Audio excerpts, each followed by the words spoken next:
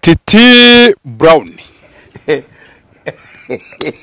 wimwe serivisi yo gufungwa cyangwa gufungurwa. Kimwe muri ibyo. Impamvu itumye nyine urubanza rusubikwa ni uko ah, twari gutegereza ibipimo bya birebana n'uturemangingo ndangasano. Dna cyangwa se adn Ah, bikaba byarafashwe rero ku itariki eshatu z'ukwezi kwa gatanu. hanyuma mwibuke ko hano mu rwanda ubundi niba hari ikintu tugira ah, dufite ibintu bibiri turusha ibindi bihugu. Umutekano ndetse na serivisi titi burawuni we yimwe serivisi yo gufungwa ndetse no kuba byibuze yafungurwa. Kimwe muri yabuzemo na kimwe. Se we mwamufunze. Bikaruta. Nyine mukaba tuvuga muti tu- tumukatiye imyaka mirongo inani cyangwa mirongo irindwi ariko bikajya ahagaragara. Hanyuma nizere ko iyi, myaka titi afunzwe nimwajya kumukatira icyaha kimuhamye muzayikuraho. Mwamukatira mirongo itatu. Iyo amazemo ibiri igiye no kurenga mukayikuraho.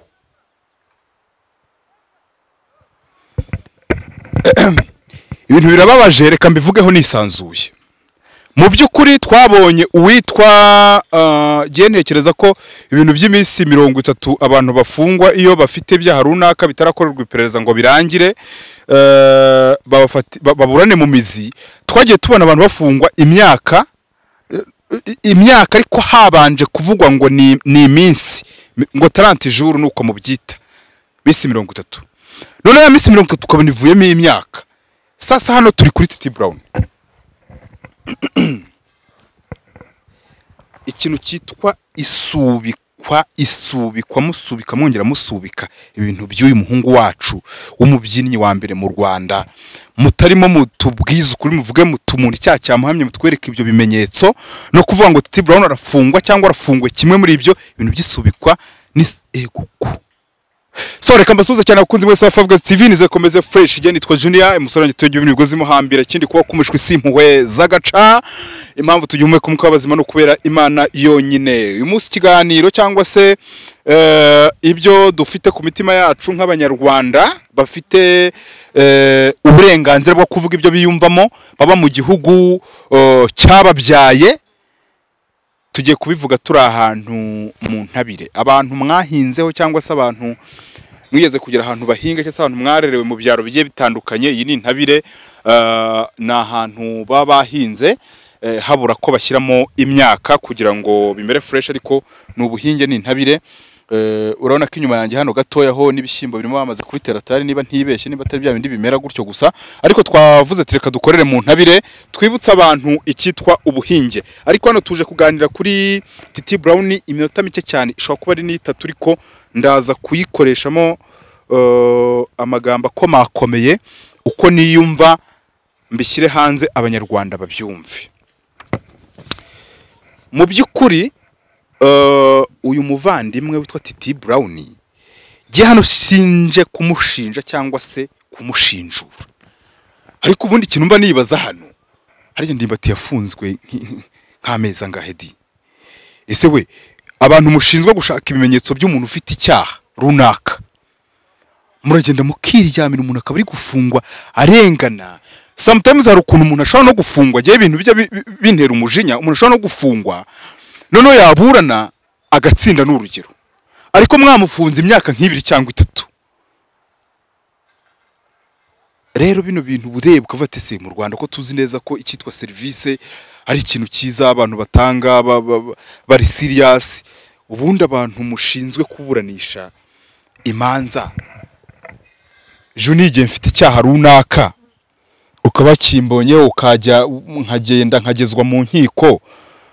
Mwabikoze vuba vuba nkaburana nkaba umwere cyangwa icyaha kikamfata nkajya gufungwa biciye mu mategeko nyine byiza biri siriyasi ibintu byanyu byo gusubika ngo byasubitswe. Ndimbati yafunzwe iminsi y'ikirenga uwitwa Prince Kid nawe ngira ngo ni uko nguko ubundi ibyo bintu abantu mushinzwe kuburanisha mwoka byaramwe mwakwikubisa agashyi Hmm? hano iyi ni platform yitwa Five Guys TV njyanzaho iyo mbona ibintu bitagenda neza imana yatwihereye nkaza nkavuga ibintu uko mbibona. Sinje hano gushinjura Titi Brown sinze no kumushinja ahubwo ntewe umujinya no kongera nkabona uh, ntago nagiye mu rubanza rwa Titi Brown ariko ntangajwe no kujya kubona nkabona. Hirya no hino uh, abanyamakuru bagenzi banjye batandukanye bampa amakuru bati urubanza rwongeye gusubikwa wabaza uti rurasubitswe rurasubitswe kandi si ubwa mbere bibaye. Ese nta nubwo muba mutekereza ko rimwe na rimwe na future y'umuntu murimo muyangiza murimo uyu mwana ku myaka ye makumyabiri n'ingahe itaragera kuri mirongo itatu? Koko uramutse wihanganye wowe muntu ufite dosiye ye mu biganza bye sinkuzi yewe sinkeneye no kukumenya yigumane. Ariko umva bino bintu ngiye kukubwira. Uramutse ufashe iyi- dosiye ya Titi Brown ugahita uvuga uti rero iyi dosiye y'uyu mwana koko twaranetse dusanga uyu mwana koko yaraviyoye. Arongora umwana utaruzuza nka kuriya kuntu byagenze ejo kwa kazungu. Kazungu mwabigize vuba vuba birihuta muraburanisha vuba vuba ibintu bira- birarangiye. Ubu ibya kazungu ntekereza ko keretse umuntu udafite mu mutwe nta muntu wajya kuvuga ngo ibya kazungu bimeze bite. Kazungu yemeye ibyaha ibintu byaciye mu mucyo ibya Titi Brown harabura iki?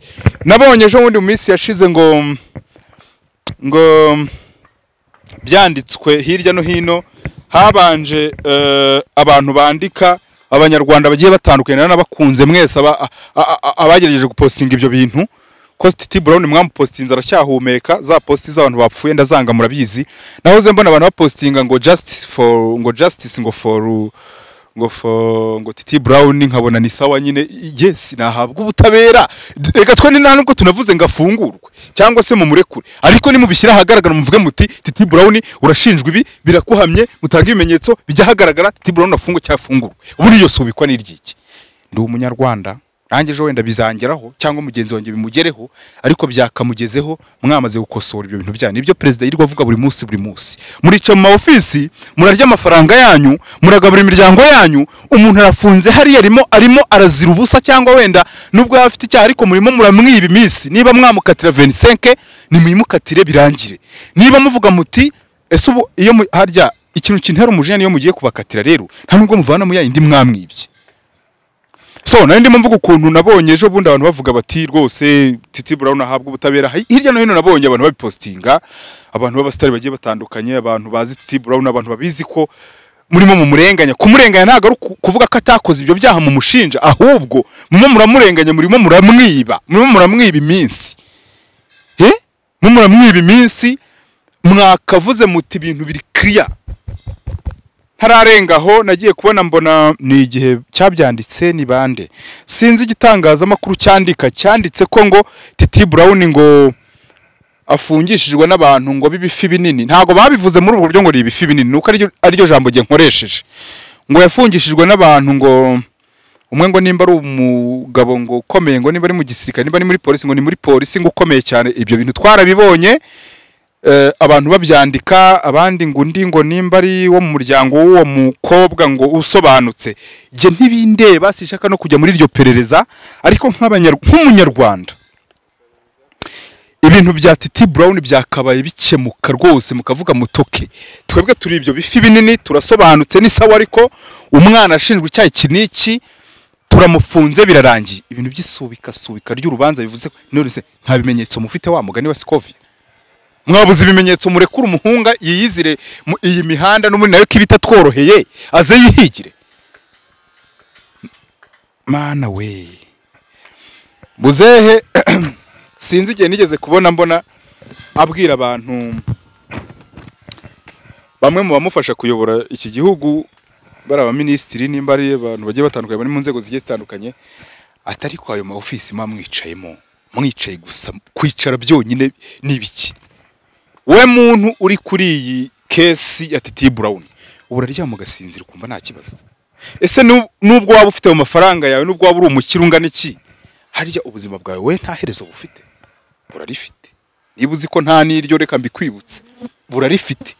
Ese wowe ejo bundi nibiba ngombwa ko ugira ikibazo gituma witabaza amaboko y'undi muntu nawe awukorera nk'ibi ngibi urimo urakorera uyu mwana? Ntabwo bizakubabaza. Abantu mujya mujya nko kwa muganga kwivuza.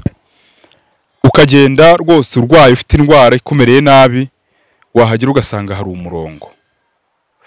Mu by'ukuri iyo malariya ikumereye nabi urimo ura- urasusumira utitira imbeho ikumereye nabi uba wumva wagufasha abo bantu ukabacaho ukajya imbere ukavurwa.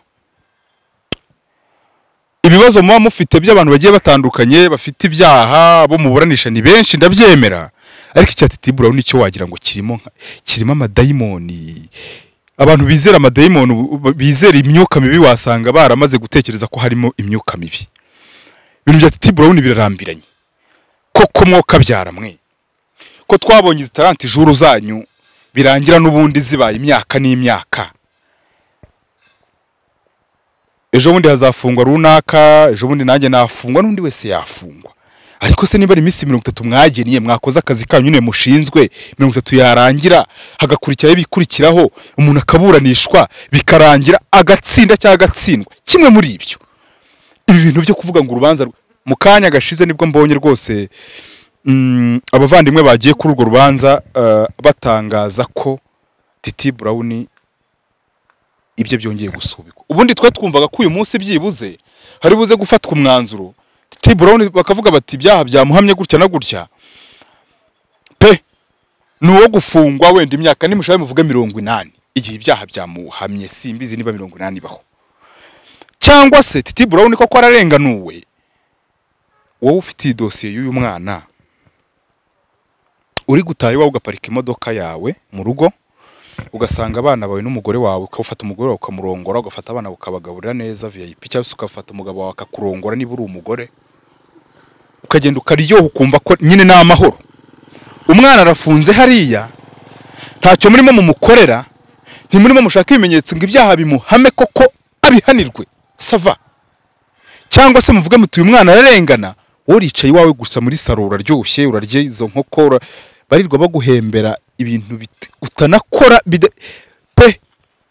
Urimo urarira kuri titi burawuni urya amafaranga y'ubuntu uryoshye n'umuryango wawe. Se we nta nubwo mujya mwumva ko ibintu muba muri gukora muzanabibazwa.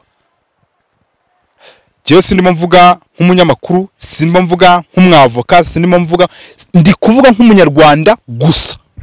Ni uko gusa mfite ahantu mbivugira ariho hano kuri Guys.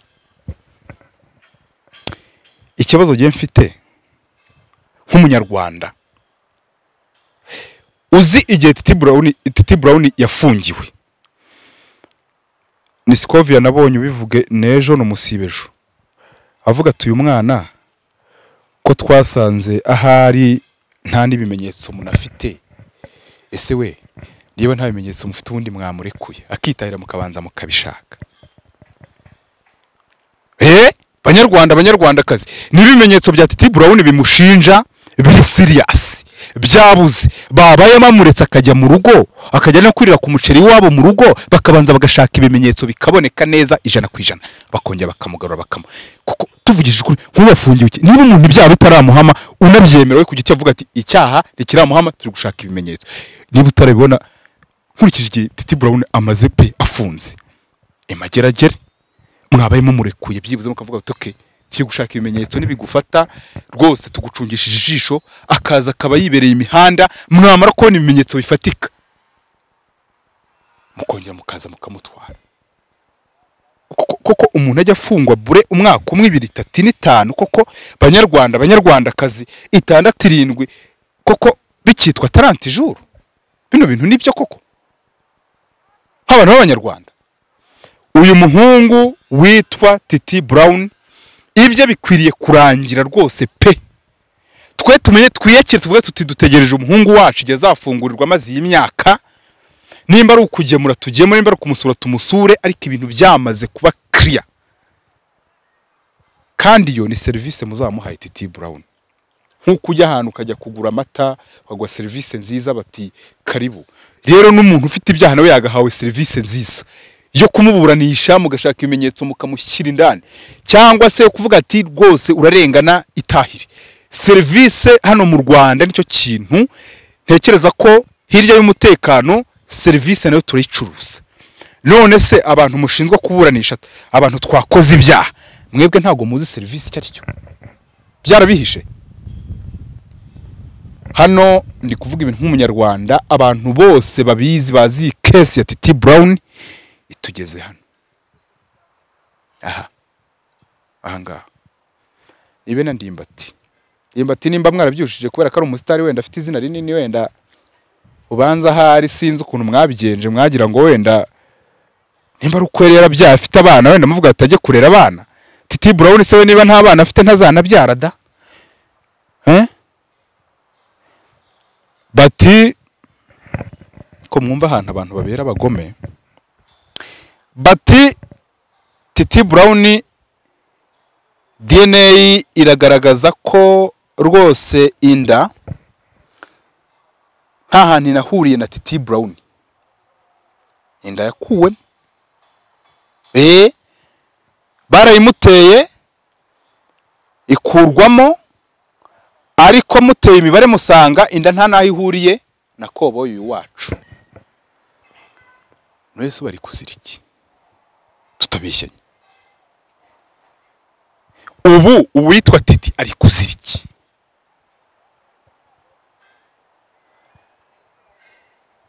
Ko yanyereka uyu mukobwa ngo muganirize uretse ko ahari uko nabibonye ubanza nyina nyamukobwa nta n'icyo yabihinduraho. Ngo ni uwo mu bikomerezwa. Mwakomera mwarorera. Fayinari do ndahiye izina ry'imana nimba utarabonye magufuri yitaba imana gutya ku mugara do gutya bigutunga ukajya kubona ukabona umuntu ugikomerezwa wagendaga imodoka zimushagaye zigenda zivuza induru umuhanda wose ukajya kubona ukabona ruramutwaye bamushyize muri za metero zingahe bamurengejeho. Ubu magufuri twaramwibagiwe. Pita nkuru nziza abarundi ndabasuhuje cyane nimwe muzi icyo bita kuvuga ngo umuntu arakomeye cyangwa ntakomeye. Pita nkuru nziza twagiye kubona tubona nawe mu minsi do. Nyuma harya pita eh, ni ukuvuga ngo magufuri yarabanje pita nkuru nziza akurikiraho. Sinzi uwabanje muri bo simbyibuka neza. Ariko nzi cyo barakurikiranye. Twagiye kujya tubona tubona pita nkuru nziza do- aciyeho. Wowe urimo urafungisha abantu. Wowe urimo uratanga serivisi mbi ngo kubera ko ngo wicaye muri ofisi ngo ya danje ninde wo kubika iyo ofisi uzayigumamo mwafashe ibintu mukabigira kiriya ukavuga ati uyu muntu afite icyaha aragihanirwa. Nta cyaha uyu muntu afite. Urajya gutsikamira utsikamira utsindagira umuntu. Rimwe na rimwe unarengana. Wowe ntago igitaka iki gitaka iki ngiki bereke kino gitaka di. Bereke kino gitaka. Iki gitaka kizagutsindagira one day ukijye munsi uri kumva? Kigutsindagira ya ofisi yawe ijye mu undi muntu. Nk'uko ubu ngubu witwa Peter nkuru nziza ofisi yicaragamo yicayemo uwo bita yicayemo uwo bita Evariste. Eh? Peter nkuru nziza ofisi yicaragamo. Uri kumva? Sinzi uburyo yicaragamo uko yabaga wenda agize atya cyangwa se avuga ati we eh avuga ati hariya mugende abaturage muyobore gutya na gutya. Ibyo nta kintu biba bivuze. Finally abonema yawe nishiramo. Ya abonema njya mbabwira. Nishiramo. Uzasanga abantu warenganyije hariya ku ruhande n'ubundi nta kintu bimaze muzasanga uri hano mu gitaka nimba hariho ubundi buzima bwabo bajya batubwira. Israel mbonye ni we yavuze ngo hari ubuzima. Hehe sinza. Eh hari ubundi buzima nihaba hari ubundi buzima. Uzishiduka usanze n'ubundi mu butaka munsi nimba koko hahari nk'ibyo abapasiteri bajya batubwira. Uzasanga muhuriyeyo wa muntu wajya gutsikamira. Mwakwihanganye guhera uyu munsi rwose pe. Mukajya mutanga serivisi nziza nimba imana yaraguhaye ubwo bushobozi. Bwo kuvuga ngo jyewe ndi umuyobozi nyoboye wenda ni urugero umujyi wa kigali. Sibyo? Ndi guverineri w'umujyi wa kigali. Nyoboye uyu mujyi wa kigali. Abaturage bari mu mujyi wa kigali ni nk'uko nawe ndi umubyeyi w'abana wenda icumi cyangwa se makumyabiri. Sibyo? Abo bana ugomba kubarera neza. Yes. Igihe kiza- kizagera wowe uve mu nzira. Ba bana bagusigarira bajya bafata umubyeyi wacu yatureze neza. Niyo mpamvu mubona natwe turimo abayobozi bari serious. Mwebwe ngo mu- ngo ngo muri ibikomerezwa sawa. Nasanze n'ibikomerezwa bijya imageragere urugero ntanga ni bampora iki? Ninde waba warasuyeho bampora iki harya ahantu ahantu reka njye mbihorera. Do bereke ziriya etaje ziri ruguru iriya uwitwa Bamporiki umuntu utari wamusura? Iwe kuhagera iwe kuhagera. Ni ukuvuga ngo ni mu miturirwa ni wa muntu Bamporiki wa mugabo wari wishoboye aba mu miturirwa. Ntekereza ko igihe kimwe nagiye kumusura nsanga ahagaze hejuru muri etaje namusuhuje Bamporiki mbwa nti muraho muraho muraho ni muri ya minsi yari afungiye mu rugo. Iyo miturirwa yawe nawe uri kubamo hari igihe bazayigufungiramo ukaba utemerewe no kurenga umuryango. Uwo munsi najya gusura bamporiki mpageze ndebye umuturirwa arimo ari hejuru hejuru. Ntimuraho muraho muraho ati muraho nta makuru umwe akabyara ko twari tuje kubasuhuza. Muri icyo gihe yari afungiye mu rugo ati nta banyamakuru bemewe barambujije kuvugana n'itangazamakuru. Iyo nyine n'inzego z'umutekano kuko bari bari mu iperereza ryabo. Ndebye inzu bamporiki arimo. Numvishe na miliyoni ashinjwa. Ndebye n'uburyo afungiye mu rugo. Sha nahise mvuga nti yewe iby'isi ni ubusa kabisa. Mm. uzajya usanga rimwe na rimwe munarutwa n'umuntu wifitiye ibihumbi bibiri bye cyangwa bitanu mu mufuka wibereye mu muhanda yidegembya wa mugani w'abarundi. Ne kubera ibyaha byanyu do bampora iki yambereye urugero rwiza ko mwebwe mwa bagabo mwe mufite mu nshingano kuyobora abaturage bagiye batandukanye rwose mushatse mwazajya mukora ibintu mu buryo bwiza nk'uko nyakubahwa wacu abivuga ati wikwicara muri ofisi epfiriya hari abaturage batanagerwaho n'ifumbire y'imvaruganda kandi twayitanze. Wowe wicaye muri ofisi urimo urarya kuri ayo mafaranga gusa tuguhemba kandi buri kwezi. Sibyo? Wenda ushinzwe bya bindi bita ngo tubura ni urugero. Ni ifumbire ngira ngo baha abantu cyangwa se n'izo mbuto. Wowe ubishinzwe ubihagarariye uricaye nyine muri ofisi tu baraguhemba buri kwezi na ya mvaruganda ntuzi nimba yageze no muri abo baturage. Harya ubundi ubwo butumariye iki wa mugani ntacyo. So rero reka tugendere ku muco wa perezida wacu his excellency eh, paul kagame avuga ati ibyo urimo bikore mu buryo bwiza unabinoze. Niba wagiye mu kabari genda ubinoze. Nimba wagiye mu kazi na byo binoze. Nimba wagiye eh, kuhinga binoze. Ahantu hose wagiye ubikore mu buryo bwiza. Abantu rero bari muri iyi kesi ya ya titi brown munyuranyije n'ibyo muzehe bari kutubwira. Kuko ubu turi kuvugana mwakabaye muvuga muti mu by'ukuri twashakishije ibimenyetso dusanga uwitwa titi brown koko ibyaha biramuhama. Titi brown twamukatiye imyaka mirongo itatu sibyo? Cyangwa se twateye imibare dusanga uwitwa titi brown ararengana mukamurekura. Imyaka ibaye ibiri dore tujye kwinjira mu wundi wa gatatu se ahubwo ubu. Umuntu afungwa imyaka itatu muvuga ngo ibyaha koko koko koko. Ubwo se turi gucuruza serivisi koko? Wa mugabo uri kuri iyi diri y'uyu mwana? Ejo bundi nawe do bazagusanga muri etaje nk'iriya ndi kwerekana. Wakoze ibyaha? None noneho mwebwe icyiza banabafungira mu rugo. Ariko sha aho kugufungira mu rugo no kugufungira imageragere byose ni cyo kimwe. Ko narebye ukuntu bampora iki namusuye atabasha no gusohoka urupangu rufunze atanasohoka ngo ajye no hanze.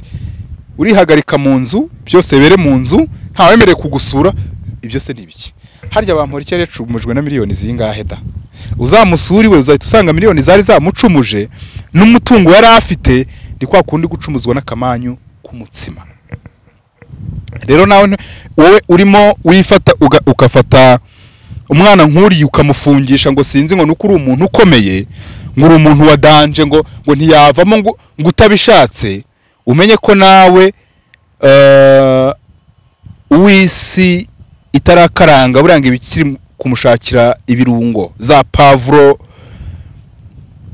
na twa magi na twa tungurusumu. Isi nawe irimo irabigushakira nawe? Nimara kubifatisha izakuzana igukarange tuguhe urw'amenyo. None se da nimba muri abantu bakomeye ninde wari uzi ko bampora iki? Yamara igihe kingana iki kingana gutya ari inyuma y'amaferabeto Oh. kandi ubwo wuzi ngo ntiwajyayo. Sawa. Nutanajyaho bazabanza bagufungire mu rugo. Bamufungiye mu rugo birangira babonye ibyaha bimuhama byanakozwe vuba vuba bahita bamujyana aho agomba kujya ajya kwishyura ibyo yakoze. Igihe cye nikirangira bampora iki? Bazamurekura tahe aze mu rugo iwe. Sibyo? Igihano kirangiye. Wa mwafashe ibintu bya T Brown mukabikemura bikarangira bikarangira.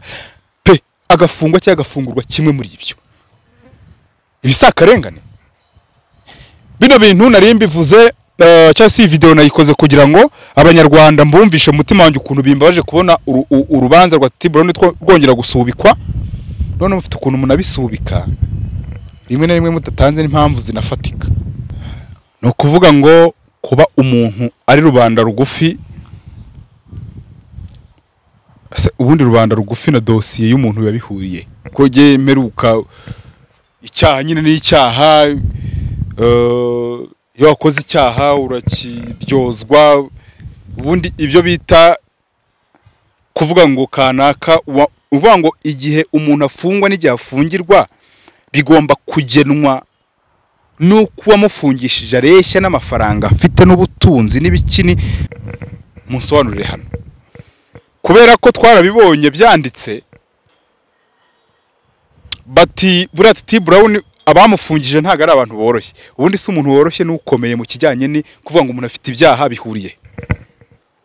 Ku giti cyanjye numva ntaho ngewe sinzi ngo ngo wafung- ngo wafungishijwe ngo n'umufande ngo ubwo icyo gihe ngo ntabwo uzataha vuba. Ngo wafungishijwe ngo n'umuntu ngo ufite ngo amayetaje nk'aya ngaya ngo icyo gihe ngo ntuvayo.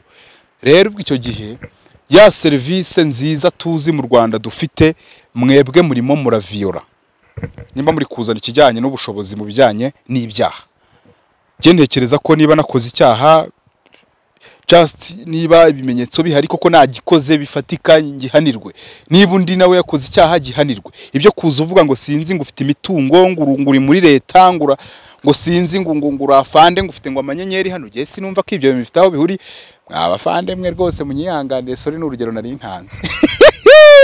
so rero bino bikoze kugira ngo twibuke abanyarwanda twese muri serivisi yose urimo wibuke ko hano mu rwanda serivisi turayicuruza abantu badukunda serivisi nziza dutanga ah, turanabyishimira ugiye ku murenge ukabona bakwakiriye neza ugiye gusaba wenda mituweli cyangwa iki iyo ugiye kuri banki bakakwakira neza ubona ari ibintu biri vip turusha ahandi hantu kandi biri ku murongo bikosoye. Rero namwe mushinzwe kuburanisha abanyabyaha namwe rwose nimwikubita agashyi bino bintu bibona umurongo kandi mwiza. Siko bimeze?